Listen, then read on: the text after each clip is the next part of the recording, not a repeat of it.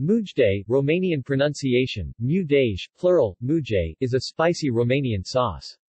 It is made from garlic cloves crushed and ground into a paste, salted and mixed energetically with water and vegetable oil. Sunflower oil is almost always used. Depending on regional preferences and the dish it is served with, vinegar or other ingredients may be added. The result is a white sauce with a very strong garlic flavor, varying in consistency from a thick paste to a very runny sauce. In some parts of Romania mujdei is made out of cream, ground garlic and some salt. It is served with a variety of dishes, including fried fish, fried or grilled chicken or pork, risol, even fried potatoes, etc. The word is derived from must de ai, that is must of garlic. See also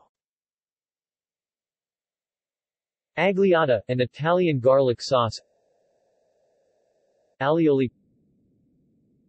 Garlic sauce. List of dips. List of garlic dishes. List of sauces. Notes and references